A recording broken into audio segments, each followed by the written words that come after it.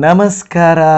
Price the Lord Jesus ನನ್ನ ಪ್ರೀತಿಯ ದೇವಜನವೇ, ನನ್ನ ಪ್ರೀತಿಯ ಸಹೋದರಿ, ಸಹೋದರ, ದೇವಭಕ್ತರೇ, ನಿಮ್ಮೆಲ್ಲರಿಗೂ ಏಸಪ್ಪನ ಮುದುನಾಮದಲ್ಲಿ ವಂದನೆಗಳು. ನೀವೆಲ್ಲರೂ ಚೆನ್ನಾಗಿದ್ದೀರಲ್ವ? ಕರ್ತನಿಗೆ ಸ್ತೋತ್ರ. ಅನುದಿನವೂ ಕರ್ತನ ವಾಕ್ಯವನ್ನು ಧ್ಯಾನ ಮಾಡುತ್ತಾ ಬರುತ್ತಾ ಇದ್ದೇವೆ. ಪ್ರಿಯರೇ, ನಿಮಗೆ ಗೊತ್ತಾ? ಒಂದು ಬಳ್ಳಿಯನ್ನು ಹೂಣಿದವರು ಆ ಬಳ್ಳಿ ಹೂ ಕೊಡಬೇಕು, ಫಲ ಕೊಡಬೇಕು ಎಂದು ಪ್ರಯಾಸ ಪಡುತ್ತಾರೆ ಒಂದು ಗಿಡವನ್ನು ನೆಟ್ಟವರು ಅದರಲ್ಲಿ ಹಣ್ಣು ಕೊಡಬೇಕು, ಇಲ್ಲವೇ ದ್ರಾಕ್ಷಿ ಹಣ್ಣು, ದ್ರಾಕ್ಷಿ ಕೊಡಬೇಕು ಮಾವಿನ ಹಣ್ಣು ಕೊಡಬೇಕು ಆ್ಯಪಲ್ ಕೊಡಬೇಕು ಅಂತ ಅದರಲ್ಲಿ ಸಕ್ಸಸ್ ಕಾಣಬೇಕಂತ ತುಂಬ ಪ್ರಯಾಸ ಪಡ್ತಾ ಇರ್ತಾರೆ. ಹಾಗೆಯೇ ನಮಗೆ ಇರುವ ಸಂತಾನ, ಮಕ್ಕಳು, ಕುಟುಂಬ ನಮಗೆ ಸಂತೋಷವನ್ನು ಕೊಡಬೇಕೆಂದು ನಾವು ಎದುರು ನೋಡುತ್ತಾ ಇದ್ದೇವೆ. ಹಾಗಾದರೆ ಇವತ್ತು ಅವೆಲ್ಲವುಗಳಿಗಿಂತ ಮುಖ್ಯವಾಗಿ ನಾವು ಪರಲೋಕದಲ್ಲಿ ನಿಮಗೆ ಬಹಳ ಫಲ ಸಿಕ್ಕಬೇಕಾದರೆ ಏನು ಮಾಡಬೇಕು? ಅಲ್ವಾ? ಪ್ರತಿಯೊಂದಕ್ಕೂ ಏನು ಮಾಡಿದರೆ ಹೇಗಾಗುತ್ತೆ ಅಂತ ಆಲೋಚಿಸುವ ನಾವು. ಪರಲೋಕದಲ್ಲಿ ನಮಗೆ ಬಹಳ ಫಲ ಸಿಕ್ಕಬೇಕಾದರೆ ಏನು ಮಾಡಬೇಕು ನಮಗೆ ಗೊತ್ತಿದೆಯಾ? ಅಯ್ಯೋ, ಈ ವಿಡಿಯೋ ನನಗೆ ಸಂಬಂಧಪಟ್ಟಿಲ್ಲ. ನಾನು ಯಾಕೆ ಇದನ್ನು ನೋಡಬೇಕು ಅಂತ ಆಲೋಚನೆ ಮಾಡಬೇಡ್ರಿ. ಯಾಕೆಂದರೆ ಇಹಲೋಕದಲ್ಲಿ ಸಿಗುವ ಎಲ್ಲ ಫಲಗಳು ವ್ಯರ್ಥವಾದರೂ ಪರಲೋಕದ ಫಲವು ಪ್ರತಿ ಕ್ರೈಸ್ತರಿಗೂ ಬಹಳ ಅವಶ್ಯವಾಗಿದೆ. ಬನ್ನಿ, ದೇವರ ವಾಕ್ಯವನ್ನು ನಿಧಾನವಾಗಿ ಧ್ಯಾನ ಮಾಡಿಕೊಳ್ಳೋಣ. ಇದರಿಂದ ಮುಖ್ಯವಾದಂಥ ದೇವರ ವಾಕ್ಯವು ಮತ್ತಾಯನು ಬರೆದ ಸುವಾರ್ತೆ ಐದನೆಯ ಅಧ್ಯಾಯ ಹನ್ನೆರಡನೆಯ ವಚನ. ಸಂತೋಷ ಪಡಿರಿ ಉಲ್ಲಾಸ ಪಡಿರಿ ಪರಲೋಕದಲ್ಲಿ ನಿಮಗೆ ಬಹಳ ಫಲ ಸಿಕ್ಕುವುದು ಎಂದು ದೇವರ ವಾಕ್ಯವು ಹೇಳುತ್ತಾ ಇದೆ. ಪ್ರಿಯ ದೇವಜನವೇ, ಈ ಲೋಕದಲ್ಲಿ ರಿಸಲ್ಟ್ಸಲ್ಲಿ ಒಳ್ಳೆ ರಿಸಲ್ಟ್ ಬಂದಾಗ ಹೇಳ್ತಾರೆ, ವಾವ್, ಸಾಧನೆ ಮಾಡಿಬಿಟ್ಟೆ, ಇನ್ನೇನು ಬೇಕು ನಿನಗೆ, ಒಳ್ಳೆ ರಿಸಲ್ಟ್ ಬಂದಿದೆ ಅಂತ ಹೇಳ್ತಾರೆ. ಒಂದು ಒಳ್ಳೆ ಕಾಲೇಜಲ್ಲಿ ಸೀಟ್ ಸಿಕ್ಕಿದರೆ ಸಾಕು, ಓ ಅಚೀವ್ ಮಾಡಿಬಿಟ್ಟೆ ಅಂತಾರೆ. ಒಂದು ಕಂಪನಿಯಲ್ಲಿ ಉತ್ತಮವಾದಂಥ ಜಾಬ್ ಸಿಕ್ಕುವಾಗ, ಒಳ್ಳೆ ಒಳ್ಳೆ ಜಾಬಪ್ಪ ಇನ್ನು ಸೆಟ್ಲ್ ಆಯಿತು ಲೈಫು ಅಂತ ಅಂದುಕೊಳ್ಳುತ್ತಾರೆ. ಒಳ್ಳೆಯ ಸಂಬಂಧ ಸಿಕ್ಕಿದಾಗಲೂ ಅಷ್ಟೇ, ಇನ್ನೇನಪ್ಪ, ಸ, ಇನ್ನು ಸಂತೋಷ ಪಡು, ಇನ್ನು ಖುಷಿ ಪಡು ಅಂತ ಹೇಳ್ತಾರೆ. ಆದರೆ ಅವೆಲ್ಲವೂ ಕಾಲ್ಪನಿಕ, ತಾತ್ಕಾಲಿಕ, ಸ್ವಲ್ಪ ಕಾಲ ಇದ್ದು ನಂತರ ಹೋಗಿಬಿಡುವಂಥವುಗಳು. ಆದರೆ ದೇವರ ವಾಕ್ಯ ನಮಗೆ ಕೊಡುವುದು, ದೇವರು ನಮಗೆ ಕೊಡುವಂಥ ಆಶೀರ್ವಾದ ಸ್ವಲ್ಪ ಕಾಲಕ್ಕೂ, ಸ್ವಲ್ಪ ದಿನಗಳಿಗೂ ಇರುವಂಥವುಗಳು ಗತಿಸಿ ಹೋಗುವಂಥವುಗಳಲ್ಲ, ಬದಲಾಗಿ ನಿತ್ಯ ನಿರಂತರವಾಗಿ ಇರುವಂಥವುಗಳು. ಪ್ರಿಯ ದೇವಜನವೇ, ಕೆಲವರು ನಿಮ್ಮಲ್ಲಿ ಅಂದುಕೊಳ್ತಾ ಇರ್ಬೋದು, ಅಯ್ಯೋ, ಭೂಲೋಕದಲ್ಲಿ ಇಲ್ಲದೆ ಇರುವಂಥ ಸಂತೋಷ, ಸಮಾಧಾನ, ಪರಲೋಕದಲ್ಲಿ ನನಗೆ ಏನಕ್ಕೆ ಬೇಕಪ್ಪ? ಕಾಣದೇ ಇರುವಂಥ ಪರಲೋಕದಲ್ಲಿ ಯಾಕೆ? ಕಾಣುವ ಭೂಲೋಕದಲ್ಲಿ ಸಿಕ್ಕಿದ್ರೆ ಒಳ್ಳೆಯದು ಅಂತ ಅಂದುಕೊಳ್ತಾ ಇದ್ದೀರಾ? ಯಾರ ಜೀವಿತದಲ್ಲಿಯೂ ಕೂಡ ಸುಖ, ದುಃಖ ಅನ್ನುವಂಥದ್ದು ನಿರಂತರ ಅಲ್ಲವೇ ಅಲ್ಲ. ಅನೇಕ ಸಾರಿ ಮನುಷ್ಯರನ್ನು ನಾವು ನೆಚ್ಚಿಕೊಳ್ಳುತ್ತೇವೆ. ಒಂದು ಮಾತನ್ನು ನಿನ್ನೆ ದಿನದಲ್ಲಿ ನಾನು ಓದಿದೆ. ಏನಂದರೆ, ನಮ್ಮ ಆತ್ಮವೇ ನಮ್ಮನ್ನು ಬಿಟ್ಟು ಹೋಗುವಾಗ, ನಮ್ಮ ಜೊತೆ ಇರುವಂಥ ವ್ಯಕ್ತಿಗಳು ನಮ್ಮನ್ನು ಬಿಟ್ಟು ಹೋಗುವುದರಲ್ಲಿ ಅತಿಶಯವೇನೂ ಇಲ್ಲ ಎಂದು ಹೇಳುತ್ತಾರೆ. ಹೌದಲ್ವಾ? ನಮ್ಮ ಆತ್ಮವೇ ನಮ್ಮನ್ನು ಬಿಟ್ಟು ಹೋಗುವ ಪರಿಸ್ಥಿತಿ ಇರುವಾಗ ಇನ್ನು ನಾವು ನಂಬಿದ ವ್ಯಕ್ತಿಗಳು ಯಾವ ಲೆಕ್ಕ ಪ್ರಿಯ ದೇವಚನವೇ ಹಾಗಿರುವಾಗ ನಮ್ಮ ಡಿಗ್ರಿ, ನಮ್ಮ ಜಾಬು, ನಮ್ಮ ಪ್ರಮೋಷನ್ನು, ನಮ್ಮ ಸಕ್ಸಸ್ಸು, ನಾವು ಹೊಂದಿದ ಪ್ರತಿಯೊಂದು ಕಾರ್ಯವು ಅದೆಲ್ಲ ಗತಿಸಿ ಹೋಗುತ್ತದೆ. ಆದರೆ ದೇವರ ಮಕ್ಕಳಾಗಿರುವವರು, ಕ್ರೈಸ್ತ ಮಕ್ಕಳಾಗಿರುವವರು ಎಲ್ಲಿಯವರೆಗೂ ನಾವು ಪರಲೋಕದಲ್ಲಿ ಸಂತೋಷಿಸುವುದಿಲ್ಲವೋ ಪ್ರಿಯ ಸಹೋದರಿ, ಸಹೋದರ, ಪರಲೋಕದ ಸಂದೇಶ ಕೇಳುವಾಗ ನಿಮಗೆ ಒಂದು ಸಂತೋಷ ಉಂಟಾಗುವುದಿಲ್ಲವೋ? ನೀವಿನ್ನೂ ಭೂಲೋಕದವರಾಗಿದ್ದೀರಿ, ಪರಲೋಕದವರು ಅಲ್ಲವೇ ಅಲ್ಲ. ಒಳ್ಳೆಯ ದೇವ ಸೇವಕರು ಒಂದು ಉತ್ತಮ ಸೇವೆ ಮಾಡಿದಂಥ ಬಿಲ್ಲಿ ಗ್ರಾಹಮಯವರು ಹೇಳುತ್ತಾರೆ I am just travelling through the world to heaven ಅಂತ ಹೇಳುತ್ತಾರೆ. ಅಂದರೆ ನಾನು ಬರೀ ಪರಲೋಕಕ್ಕೆ ಭೂಲೋಕದ ಮೂಲಕ ಪ್ರಯಾಣ ಮಾಡ್ತಾ ಇದ್ದೇನೆ ಅಷ್ಟೇ. ಈ ಲೋಕ ನನಗೆ ಸಂಬಂಧಪಟ್ಟಿಲ್ಲ ಎಂದು ಹೇಳುತ್ತಾರೆ. ಇವತ್ತು ನೀವು ನಾನು ಲೋಕದ ಕಾರ್ಯಗಳನ್ನು ಜಾಸ್ತಿ ಹಿಡ್ಕೊಂಡಿದ್ದೇವಾ? ಸುಮ್ಮನೆ ಹಿಡಿದು ಹಿಡ್ಕೊಳ್ಳದ ಹಾಗೆ ಇದ್ದೇವಾ? ನೀವೇ ತೀರ್ಮಾನ ಮಾಡಬೇಕು. ಎಷ್ಟೊತ್ತು, ಎಷ್ಟು ದಿನಗಳು, ಅಪ್ಪ ಇದು ಕೊಡು, ಅಪ್ಪ ಹೀಗೆ ಮಾಡು ಇಪ್ಪ ಹೀಗೆ ಮಾಡು ಅನ್ನುವಂಥ ಆಶ್ಚರ್ಯವಾದ ಕ್ರಿಯೆಗಳಿದೆ. ನಾನೊಂದು ಪಿಕ್ಚರನ್ನು ನೋಡಿದೆ. ಪ್ರಿಯದೇವ ಜನರ ಆ ಪಿಕ್ಚರ್ಲೇನಿದೆ ಗೊತ್ತಾ? ನರಕದ ಬಾಗಿಲಿನಲ್ಲಿ ಹೋಗುವವರು ಅನೇಕರಿದ್ದರೆ ಆದರೆ ಸ್ವರ್ಗದ ಬಾಗಿಲು, ಕಷ್ಟದ ಬಾಗಿಲು, ಇಕ್ಕಟ್ಟಿನ ಬಾಗಿಲು ಅನ್ನತ್ತು ಹೋಗುವಂತರ ಆ ದಾರಿಯಲ್ಲಿ ಹೋಗುವರು ಸ್ವಲ್ಪ ಜನ. ಸ್ವಲ್ಪ ಜನರಲ್ಲಿ ಇನ್ನೂ ನಾವು ಹೇಗಿದ್ದೇವೆ? ನಾವು ಯಾವ ಮಾರ್ಗದಲ್ಲಿದ್ದೇವೆ ಎಂದು ಬಹಳ ಬಹಳ ನಾವು ತೀರ್ಮಾನ ಮಾಡಬೇಕಾಗಿದೆ. ಇವತ್ತು ಕಾಲ್ಪನಿಕವಾಗಿ ಕಣ್ಣಿಗೆ ಕಾಣುವ, ನಾಲಿಗೆ ರುಚಿ ಕೊಡುವ, ನಮ್ಮ ಕಿವಿಗೆ ಇಂಪಾಗುವ ಕಾರ್ಯಗಳನ್ನಲ್ಲಿ ನಾವು ಮಗ್ನರಾಗಿಬಿಟ್ಟು ಪರಲೋಕದಲ್ಲಿ ಸಿಗುವ ನಿತ್ಯವಾದ ಆಶೀರ್ವಾದವನ್ನು ಕಳ್ಕೊಳ್ಳಲೇಬಾರದು. ಈ ವಿಡಿಯೋ ನೋಡುತ್ತಿರುವಂಥ ನನ್ನ ಸಹೋದರಿ, ಬಹಳ ಭಾರದಿಂದ ಹೇಳುತ್ತಾ ಇದ್ದೇನೆ. ಬಹಳ ನೋವಿನಿಂದ, ಬಹಳ ಒಂದು ಜವಾಬ್ದಾರಿಯಿಂದ ಹೇಳುತ್ತಾ ಇದ್ದೇನೆ. ಕ್ರೈಸ್ತ ಮಕ್ಕಳಾಗಿರುವಂಥ ನಾವು ವಸ್ತುಗಳಿಗಾಗಿ, ವ್ಯಕ್ತಿಗಳಿಗಾಗಿ ಎಷ್ಟು ದಿನ ನಾವು ಜೀವಿಸುತ್ತೇವೆ? ಪರಲೋಕಕ್ಕಾಗಿ ಜೀವಿಸಬೇಕು. ದೇವರ ವಾಕ್ಯವು ಹೇಳುತ್ತಾ ಇದೆ, ಯಾರು ಸಂತೋಷ ಪಡಬೇಕು ಹೇಗೆ ನಾವು ಉಲ್ಲಾಸ ಪಡಬೇಕು ಪರಲೋಕದಲ್ಲಿ ನಮಗೆ ಬಹಳ ಫಲ ಸಿಕ್ಕುವುದೆಂದು ಸಂತೋಷಿಸಬೇಕು. ಆದರೆ ನಾವೇನು ಮಾಡ್ತಾ ಇದ್ದೀವಿ ಗೊತ್ತಾ? ಪರಲೋಕದ ಸಂತೋಷ, ಪರಲೋಕದ ಉಲ್ಲಾಸವನ್ನು ನಾವು ನೆನೆಸ್ತಾ ಇಲ್ಲ. ಭೂಲೋಕದ ಕಾಲ್ಪನಿಕ ಕ್ಷಣಿಕವಾದವುಗಳನ್ನು ನೆನೆಸಿ ನಾವೇನಂದು ಕೊಡ್ತಾ ಇದ್ದೇವೆ? ಓ ನನಗೆ ಹಾಗೆ ಹೀಗೆ ಅಂತ. ನಿನ್ನ ಮನೆ ನಿಮ್ಮನ್ನು ಬಿಟ್ಟು ಹೋಗ್ತದೆ. ನಿಮ್ಮವರು ನಿಮ್ಮನ್ನು ಬಿಟ್ಟು ಹೋಗ್ತಾರೆ. ನಿಮ್ಮ ಆಸ್ತಿ ನಿಮ್ಮನ್ನು ಬಿಟ್ಟು ಹೋಗ್ತದೆ. ನಿಮ್ಮ ಹಣವನ್ನು ನೀವು ಬಿಟ್ಟು ಹೋಗ್ತದೆ. ನಿಮ್ಮ ಆರೋಗ್ಯ ನಿಮ್ಮದಿಲ್ಲದೆ ಆಗ್ತಾ ಹೋಗ್ತದೆ. ಭವಿಷ್ಯ ಇಲ್ಲದೆ ಎಲ್ಲ ನಿಮ್ಮನ್ನು ಬಿಟ್ಟು ಹೋಗ್ತದೆ. ನೀವು ನಾನು ಹೋಗಬೇಕಾಗಿರುವುದು ಎರಡೇ ಸ್ಥಳ. ಪರಲೋಕ ಇಲ್ಲವೇ ನರಕ. ಇವತ್ತು ನೀವು ನಾನು ಯಾವ ದಾರಿಯಲ್ಲಿದ್ದೀರಿ? ನಾವು ಯಾವ ದಾರಿಯಲ್ಲಿದ್ದೀವಿ? ನಾವು ಆಲೋಚನೆ ಮಾಡಿಕೊಳ್ಳ್ರಿ ಎಷ್ಟು ಕಾಲ, ಎಷ್ಟೊತ್ತು ಕೇವಲ ನಾವು ಲೌಕಿಕ ಕಾರ್ಯಗಳಲ್ಲಿ ಭಕ್ತರಾಗಿದ್ದರೆ ನರಕಕ್ಕೆ ಹೋಗದೆ ನಾವು ಪರಲೋಕಕ್ಕೆ ಹೋಗೋಕ್ಕಾಗಲ್ಲ. ಇದನ್ನು ತೀರ್ಮಾನ ಮಾಡೋಕ್ಕೆ ನೀವ್ಯಾರು ಕೆಲವೊಂದು ನನಗೆ ಕಮೆಂಟ್ ಮಾಡಿ ಹೇಳ್ತಾರೆ, ನಿನಗೇನು ಪರಲೋಕದಿಂದ ದೇವರು ಕನಸಲ್ಲಿ ಮಾತಾಡಿದ್ರ ಅಂತ ಹೇಳ್ತಾರೆ. ಪ್ರೇರೆ ಅವರು ಏನಾದರೂ ನನ್ನ ನನ್ನಲ್ಲಿ ಆದರೆ ನಂಬಿದವರು ಕ್ರಿಸ್ತನನ್ನು ಕರೆಕ್ಟಾಗಿ ನಂಬಿದವರಿಗೆ ಅರ್ಥವಾಗ್ತದೆ. ಕ್ರಿಸ್ತನ ಮನಸ್ಸು ಏನಂತ, ದೇವರ ಆಲೋಚನೆ ಏನಂತ, ದೇವರ ಮಕ್ಕಳ ಗುರಿ ಯಾವುದು ಅಂತ ಗೊತ್ತಾಗಿದೆ. ನಿಮಗೆ ಗುರಿ ಇದೆಯಾ? ನೀವೆಲ್ಲಿಗೆ ಹೋಗ್ತಾ ಇದ್ದಾರಂತ ನಿಮಗೆ ಗೊತ್ತಿದೆಯಾ? ನೀವು ಯಾಕೆ ಯೇಸುವನ್ನು ನಂಬ್ತಾ ಇದ್ದೀರಂತ ಗೊತ್ತಿದೆಯಾ? ಲೋಕದಲ್ಲಿ ಅನೇಕರು ಅನೇಕ ವಸ್ತು ವ್ಯಕ್ತಿಗಳಿಗಾಗಿ, ಸ್ವಲ್ಪದಕ್ಕಾಗಿ, ಹಣಕ್ಕಾಗಿ, ಆರೋಗ್ಯಕ್ಕಾಗಿ, ಆಶೀರ್ವಾದಕ್ಕಾಗಿ ಓಡ್ತಾ ಇದ್ದಾರೆ ಎಲ್ಲರೂ. ಆದರೆ ನಿತ್ಯವಾದದನ್ನು ಯಾರೂ ಕಾಡ್ತಾ ಇಲ್ಲ. ಆದರೆ ದೇವರ ವಾಕ್ಯ ಹೇಳುತ್ತದೆ ಅಲ್ಲಿ ಹೇಳುತ್ತದೆ, ನಿಮಗೆ ಈ ಉಲ್ಲಾಸ ಸಿಗಬೇಕಾದರೆ, ನಿಮಗೆ ಈ ಸಂತೋಷ ಸಿಗಬೇಕಾದರೆ, ಪರಲೋಕದ ಫಲ ಸಿಗಬೇಕಾದರೆ ಕೆಲವು ಕಾರ್ಯಗಳನ್ನು ನೀವು ಮಾಡಬೇಕು.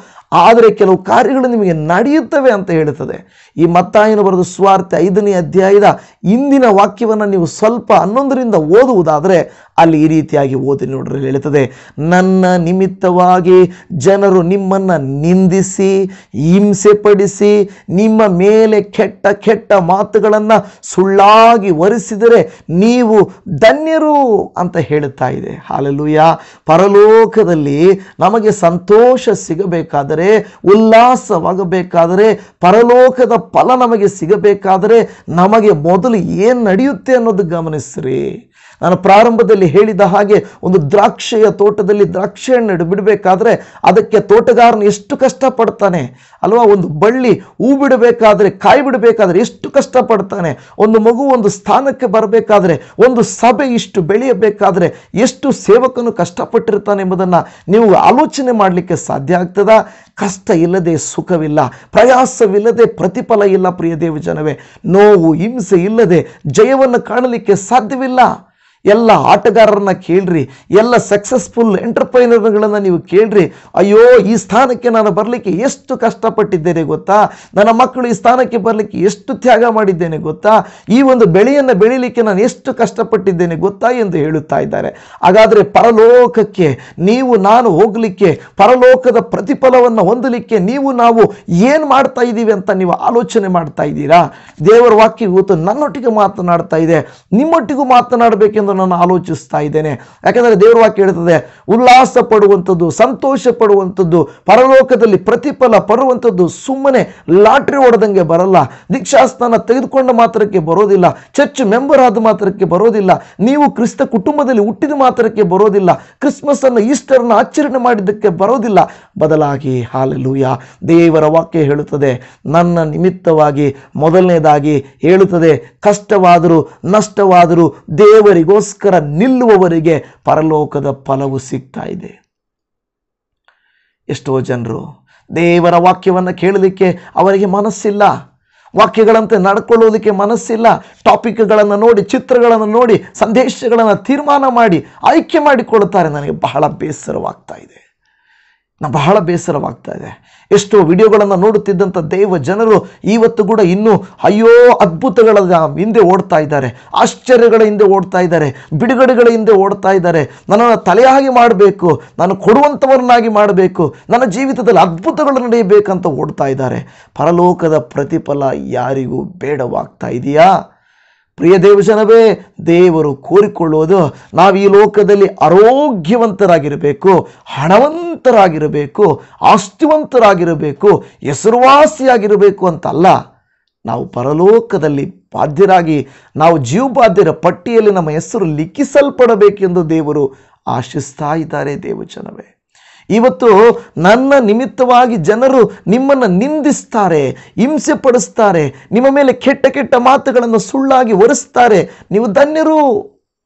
ಕುಟುಂಬಸ್ಥರು ಹೇಳ್ತಾರೆ, ಯಾವಾಗ ನೋಡಿದ್ರು ಬೈಬಲ್ ಹಿಡ್ಕೊಳ್ತೀಯ? ಯಾವಾಗ ನೋಡಿದ್ರು ವಾಕ್ಯ ಓದ್ತೀಯ? ಯಾವಾಗ ನೋಡಿದ್ರು ಏಸು ಏಸು ಅಂತೀಯ?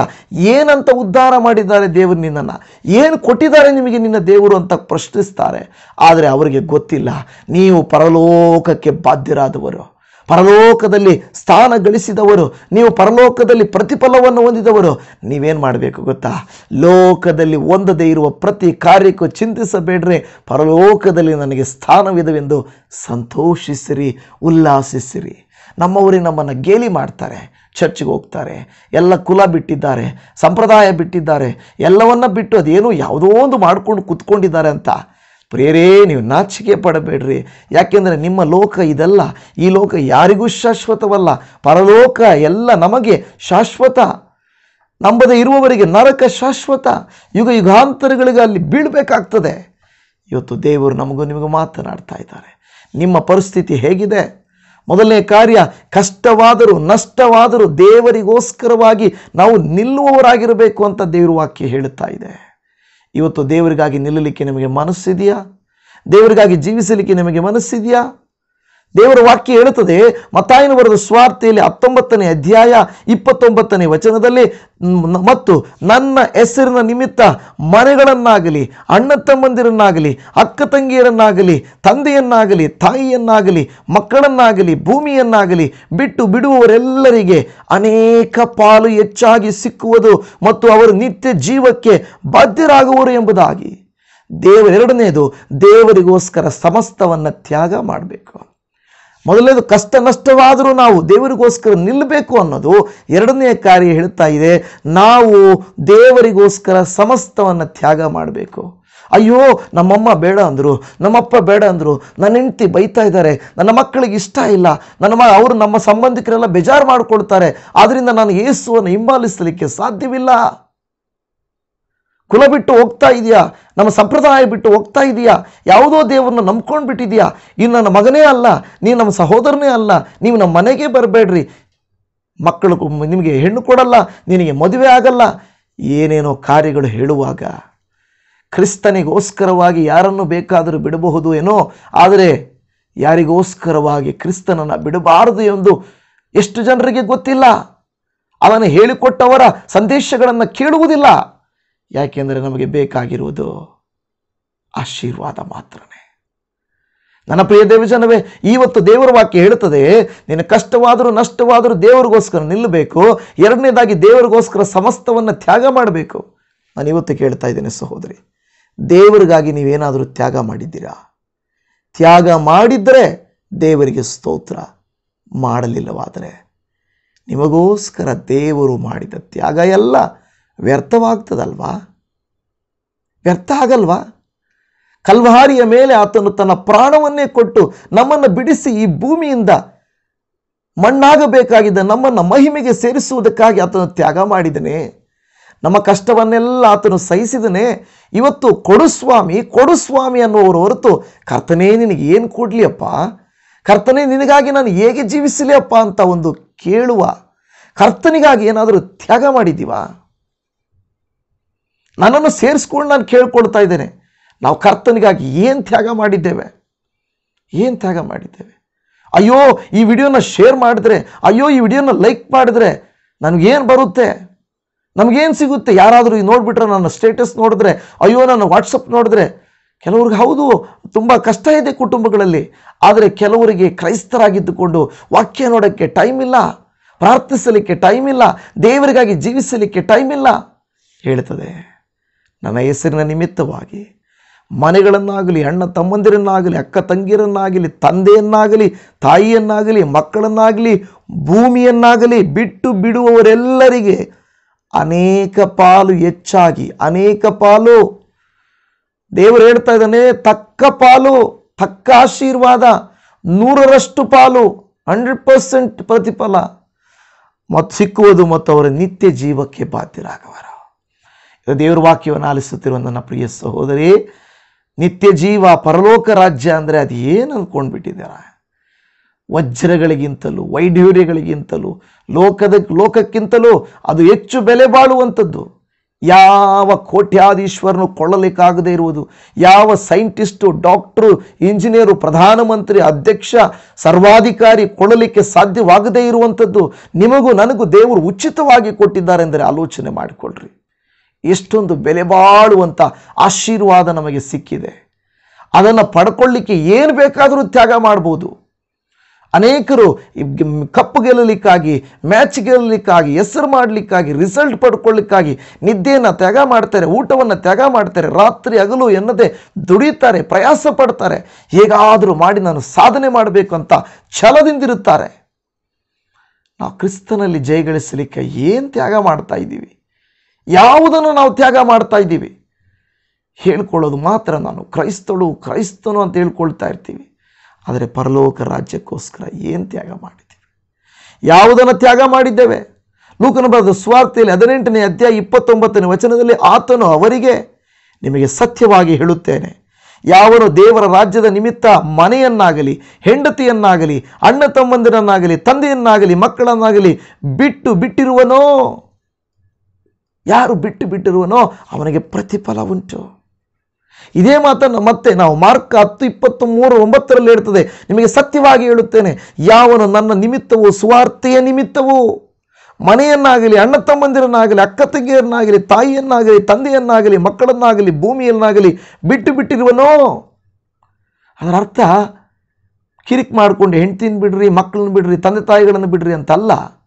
ಒಂದು ಪರಿಸ್ಥಿತಿ ಬರ್ತದೆ, ದೇವರ ನಾನ ಅನ್ನುವಾಗ ಅವ್ರಿಗೆ ಹೇಳಬೇಕು, ದೇವರು ಮೊದಲು ಆಮೇಲೆ ನೀನು. ತಾಯಿ ದೇವರಲ್ಲ, ತಂದೆ ದೇವರಲ್ಲ, ಅಣ್ಣ ತಮ್ಮಂದಿರು, ಅಕ್ಕ ತಂಗಿರು ದೇವರುಗಳಲ್ಲ, ಗಂಡ ಹೆಂಡತಿ ದೇವರುಗಳಲ್ಲ. ಯಾಕೆಂದರೆ ಅವರನ್ನೆಲ್ಲ ದೇವರು ಕೊಟ್ಟಿದ್ದು. ಆತನಿದ್ದರೆ ಇವರೆಲ್ಲ, ಆತನಿಲ್ಲದೆ ಇವರು ಯಾರೂ ಇಲ್ಲ. ಆದರೆ ನಾವೇ ಮನುಷ್ಯರನ್ನು, ನೋಡುವ ವಸ್ತುಗಳನ್ನು ನೋಡಿಬಿಟ್ಟು ಅವರ ಕಾಲಿಗೆ ಇರಿಗಿ ಅವ್ರನ್ನೇ ಬಿಟ್ಟು ದೇವರನ್ನ ಮಾಡಿಬಿಡ್ತೇವೆ. ಆದರೆ ಅದು ಒಳ್ಳೆಯದಲ್ಲ ಪ್ರೀದೇವಿ ಫಲ ಕೊಡಬೇಕಾದ್ರೆ ಫಲ ಸಿಗಬೇಕಾದರೆ ಪರಲೋಕದಲ್ಲಿ ಬಹಳ ಫಲ ಸಿಗಬೇಕಾದರೆ ವ್ಯವಸಾಯಗಾರನು ದುಡಿಯುವಂತೆ, ಒಂದು ಆಟಗಾರನು ದುಡಿಯುವಂತೆ, ಒಂದು ಅಧಿಕಾರಿ ಒಲ್ಲವೇ, ಒಬ್ಬ ರಾಜಕೀಯ ವ್ಯಕ್ತಿ ರಾತ್ರಿ ಹಗಲು ದುಡಿಯುವಂತೆ ಪರಲೋಕ ರಾಜ್ಯಕ್ಕಾಗಿ ನಾವು ಕೂಡ ಈ ಕಾರ್ಯಗಳನ್ನು ಮಾಡಬೇಕಾಗಿದೆ. ಎಷ್ಟು ಜನರು ನೋಡ್ತಾರೋ ಗೊತ್ತಿಲ್ಲ. ಎಷ್ಟು ಜನರು ಈ ವಿಡಿಯೋನ ಶೇರ್ ಮಾಡ್ತಾರೋ ನನಗೆ ಗೊತ್ತಿಲ್ಲ. ಬಟ್ ನಾವು ಮಾಡೋ ಕೆಲಸ ನಾನು ಮಾಡೇ ಮಾಡ್ತೀನಿ. ದೇವರಾತ್ಮನ ಯಾರು ಇದು ನೋಡಬೇಕಂತಿದೆಯೋ ಅವ್ರು ಮಾತ್ರ ನೋಡಲಿ. ನನಗೆ ಬಹಳ ನೋವಾಗ್ತಾ ಇದೆ. ಯಾಕೆಂದರೆ ದೇವರ ವಾಕ್ಯವನ್ನು ಸ್ಪಷ್ಟವಾಗಿ ಕೇಳುವವರು ಇಲ್ವಲ್ಲ ಎಂದು ನೋವಾಗ್ತಾ ಇದೆ. ನೋವಾಗ್ತಾ ಇದೆ. ಇವತ್ತು ನೀವು ನಾನು. ಕಷ್ಟ ಆದರೂ ನಷ್ಟ ಆದರೂ ದೇವರಿಗೋಸ್ಕರ ನಿಲ್ತೇವಾ? ಒಂದು ವೇಳೆ ದೇವರಿಗೋಸ್ಕರ ಸಮಸ್ತವನ್ನು ತ್ಯಾಗ ಮಾಡ್ತೇವಾ ಮೂರನೇ ಕೃತ್ಯ ಹೇಳ್ತದೆ, ದೇವರ ಆಜ್ಞೆಗಳನ್ನು ಯಥಾರ್ಥವಾಗಿ ಕೈಗೊಳ್ಳುತ್ತೇವಾ? ಯಥಾರ್ಥವಾಗಿ ಕೈಗೊಳ್ಳಬೇಕು. ನಾವು ಏನೋ ನಮ್ಮ ಹೊಟ್ಟೆಪಾಡಿಗಾಗಿ, ದೇವರ ಆಶೀರ್ವಾದ ಹೊಂದುವುದಕ್ಕಾಗಿ, ಜನರನ್ನು ಮೆಚ್ಚಿಸುವುದಕ್ಕಾಗಿ, ವಾಕ್ಯಗಳನ್ನು, ಪ್ರಾರ್ಥನೆಗಳನ್ನು ಸ್ವಾರ್ಥಕ್ಕಾಗಿ ಬಳಸುವುದು ಪ್ರಯೋಜನವಿಲ್ಲ. ಬದಲಾಗಿ ಯಥಾರ್ಥವಾಗಿರಬೇಕು. ಕೊಟ್ಟರು ನೀನೇ ದೇವರು, ಕೊಡದೆ ಹೋದರೂ ನೀನೇ ದೇವರು. ಅಪ್ಪ ಆಶೀರ್ವದಿಸಿದರು ಬಿಟ್ಟರು ನೀನೇ ನನ್ನ ದೇವರು. ನೀನು ಬಡವನಾಗಾದರೂ ಇಡು, ನನ್ನ ಸಾಹುಕಾರನಾಗಾದರೂ ಇಡು.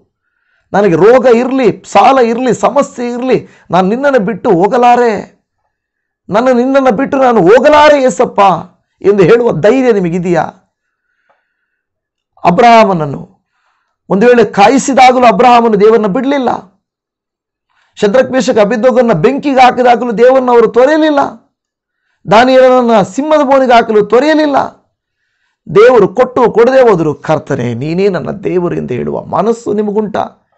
ಹಿಂಸೆ, ಕಷ್ಟ, ವೇದನೆ, ಪ್ರಯಾಸಗಳ ಮಧ್ಯದಲ್ಲಿ ದೇವರು ಕೊಡದೇ ಇದ್ದಾಗ ಯಥಾರ್ಥತೆಯನ್ನು ಬಿಟ್ಟು ಹೋಗುವ ಮನಸ್ಸು ನಮಗೆ ಬೇಡ. ಪ್ರಿಯರೇ, ಪರಲೋಕದಲ್ಲಿ ಪ್ರತಿಫಲ ಕೊಡುವ ದೇವರು ಭೂಲೋಕದಲ್ಲಿ ನಿಮ್ಮನ್ನು ಕೈ ಬಿಟ್ಟು ಬಿಡುವನೇ? ಕೈ ಬಿಟ್ಬಿಡ್ತಾನಾ ಕೈ ಬಿಟ್ಬಿಡಲ್ಲ ಆತನೇ ನಿಂತು ನಿಮ್ಮನ್ನ ಆಶೀರ್ವದಿಸುತ್ತಾನೆ. ದೇವ ಮಕ್ಕಳೇ, ದೇವರ ಮಕ್ಕಳೇ, ದೇವ ಮಕ್ಕಳೇ, ಕರ್ತನಲ್ಲಿ ಪ್ರಾರ್ಥಿಸೋಣವಾ. ಸ್ವಾಮಿ, ನನ್ನನ್ನು ಕರುಣಿಸಯ್ಯ. ನನ್ನ ಅವಶ್ಯಕತೆಗಳನ್ನು ಪೂರೈಸ್ತಿ ಅಂತ ನನಗೆ ಗೊತ್ತಿದೆ. ನನ್ನ ಕೆಲಸ, ನಾನು ಪರಲೋಕವನ್ನು ನೋಡಿ ಓಡಬೇಕು. ಭೂಲೋಕದ ಭಾರಗಳೆಲ್ಲ ನಿನ್ನ ಮೇಲೆ ಹಾಕಬೇಕು. ನನ್ನ ಚಿಂತೆ, ನನ್ನ ದುಃಖ, ನನ್ನ ಪ್ರಯಾಸಗಳನ್ನೆಲ್ಲ ನಿನ್ನ ಮೇಲೆ ಹಾಕ್ತೇನಯ್ಯ. ನಾನು ಪರಲೋಕ ನೋಡಿ ಹೋಗ್ತಾ ಇರ್ತೇನೆ. ಭೂಲೋಕದಲ್ಲಿ ಎಡವದಂತೆ, ಬೀಳದಂತೆ, ನೋವು ಪಡದಂತೆ ನೀನು ಕಾಪಾಡಯ್ಯ ಎಂದು ಹೇಳಿದರೆ ಕರ್ತನ ಕಾಪಾಡೋದಿಲ್ವಾ? ಖಂಡಿತ ಕಾಪಾಡ್ತಾರೆ. ದೇವರು ತಾನೇ ಆ ರೀತಿಯಾಗಿ ನಿಮಗೆ ಸಹಾಯ ಮಾಡಲಿ. ಪ್ರಾರ್ಥನೆ ಮಾಡಿಕೊಳ್ಳೋಣ. ಪರಮ ತಂದೆಯೇ, ಪರಮ ವೈದ್ಯನೇ ಯಹೋವಾಯಿರೆ ಒದಗಿಸುವಾತನೇ ಯಹೋವರ ಅಪ್ಪ ಸೌಖ್ಯದಾಯಕನೇ, ನಿಮಗೆ ಸ್ತೋತ್ರ ಸ್ತೋತ್ರ. ಹೌದು ತಂದೆ, ನನ್ನ ದೇಶ ಇಲ್ಲಿ ಅಲ್ಲ.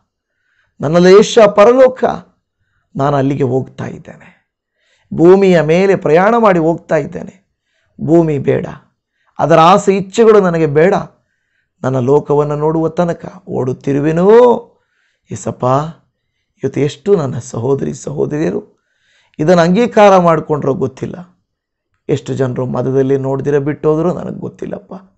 ಅವರ ಮೇಲೆ ಕರುಣೆ ಇರಲಿ ಸ್ವಾಮಿ. ದಯಮಾಡಿ ನಾವು ಮಾಡುವ ಈ ವಾಕ್ಯಗಳು ಇವರ ಜೀವಿತದಲ್ಲಿ ವ್ಯತ್ಯಾಸಗಳನ್ನು ತರಲಿ, ಅಪ್ಪ. ಅಪ್ಪ, ಇವತ್ತು ನಾನು ಇವರನ್ನು ಮೆಚ್ಚಿಸಿ ಪರಲೋಕದ ಬದಲಾಗಿ ಭೂಲೋಕದ ಆಶೀರ್ವಾದಗಳನ್ನು ಇವರಿಗೆ ತೋರಿಸಿಕೊಟ್ಟು ಪರಲೋಕ ಇವರಿಗೆ ನಾನು ಪರಿಚಯ ಮಾಡಿಕೊಡದೆ ಹೋದರೆ ನಾನು ಅಯೋಗ್ಯನಾಗ್ತೇನಯ್ಯ? ನಾನು ಅಯೋಗ್ಯನಾಗ್ತೇನೆ. ದಯಮಾಡಿ ನನ್ನನ್ನು ಕ್ಷಮಿಸು, ಸ್ವಾಮಿ. ಆ ರೀತಿಯಾಗಿ ಅಯೋಗ್ಯನನ್ನಾಗಿ ನನ್ನನ್ನು ಮಾಡಬೇಡಪ್ಪ. ದೇವರೇ, ಒಬ್ಬ ಒಳ್ಳೆಯ ಸೇವಕನಾಗಿ ಯಥಾರ್ಥವುಳ್ಳ ಸೇವಕನಾಗಿರುವಂತೆ ನನಗೆ ಸಹಾಯ ಮಾಡು. ಯಾರು ನನ್ನನ್ನು ಮೆಚ್ಚಿದ್ರು ಮೆಚ್ಚದೇ ಹೋದರು. ಕೆಲವರನ್ನಾದರೂ ಪರಲೋಕ ಮಾರ್ಗಕ್ಕೆ ಸೇರಿಸುವುದಕ್ಕೆ ನನಗೆ ಕೃಪೆಯನ್ನು ತೋರಿಸು. ನಿನ್ನ ಪಾದಕ್ಕೆ ಒಪ್ಪಿಸಿಕೊಡುತ್ತೇನೆ. ನೀನು ಅನುಗ್ರಹಿಸು. ಅಪ್ಪ, ಮತ್ತು ನಾನು ಬೇಡುತ್ತೇನಯ್ಯ ನಿನ್ನ ಹತ್ರ. ಅಪ್ಪ, ಇವರು ಪರಲೋಕ ನೋಡಿ ಓಡುವಾಗ ಭೂಲೋಕದ ಕಷ್ಟಗಳನ್ನೆಲ್ಲ ಪರಿಹಾರ ಮಾಡಪ್ಪ. ಇವರ ಕಣ್ಣೀರೆಲ್ಲ ಒರೆಸಪ್ಪ ಇವರ ವೇದನೆಯೆಲ್ಲ ನೀನು ತೆಗೆದು ಬಿಡಪ್ಪ ಪರಮ ತಂದೆಯೇ ಪವಿತ್ರನೇ, ನಿನ್ನ ನಾಮದಲ್ಲಿ ಒಪ್ಪಿಸಿಕೊಡುತ್ತೇನೆ. ವಾಕ್ಯವನ್ನು ಕೇಳಿದ ಪ್ರತಿಯೊಬ್ಬರನ್ನ ನಿನ್ನ ಪಾದಕ್ಕೆ ಒಪ್ಪಿಸ್ತೇನೆ. ಆಶೀರ್ವದಿಸಯ್ಯ. ಕರುಣಿಸಿ ಇವರ ಜೀವಿತಗಳನ್ನು ಮಾರ್ಪಡಿಸಬೇಕೆಂದು. ಈ ವಾಕ್ಯಗಳ ಮೂಲಕ ಇವರಿಗೆ ಆಶೀರ್ವಾದವನ್ನು ಕೊಡು. ದಿನವೆಲ್ಲ, ಕುಟುಂಬವೆಲ್ಲ ನಿನ್ನ ರೆಕ್ಕೆಗಳ ಮರೆಯಲಿಟ್ಟು ಕನ್ನಡಿಸು. ಯೇಸುವಿನ ನಾಮದಲ್ಲಿ ಪ್ರಾರ್ಥಿಸ್ತೇವೆ ತಂದೆಯೇ ಆಮೇಲೆ ಪ್ರೀತಿಯ ದೇವಿ ಜನವೇ, ಕರ್ತನು ತಾನೇ ನಿಮ್ಮನ್ನು ಆಶೀರ್ವದಿಸಲಿ. ಪರಲೋಕದ ಎಲ್ಲ ಸುವರ್ಗಳು ನಿಮ್ಮ ಮೇಲಿರಲಿ. Shalom praise the Lord Jesus